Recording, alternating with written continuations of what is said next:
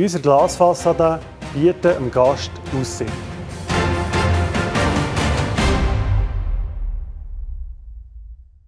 Die Herausforderungen hier äh, sind gestellt worden, einerseits von der Architektur, die einen klaren Wunsch hatte, wie das wirken soll.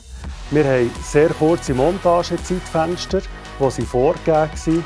Und wir sind hier hochalpin mit einem grossen logistischen Aufwand. Und all diese Komponenten müssen zusammengeführt werden zu einer Lösung.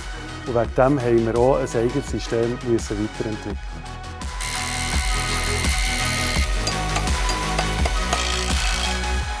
Unser Auftrag beinhaltet Glasfassaden an den Gebäudehüllen, Schalteranlagen, Schiebetüren und ganz spezielle Panoramafenster.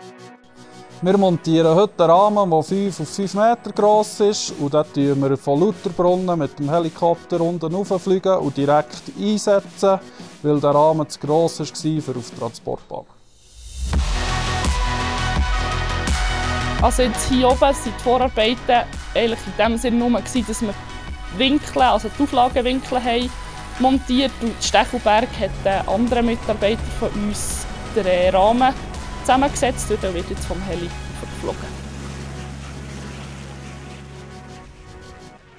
Unsere Gläser, die hier im Berg montiert sind, die sind einerseits mit einer Sonnenschutzbeschichtung ausgestattet und andererseits sind sie mit einem Unterdruck vorfabriziert worden weil wir hier fast auf 3000 Meter ganz andere Druckverhältnisse Ja, Thema Aussicht ist äh, hier oben sicher sehr ein wichtiger Punkt.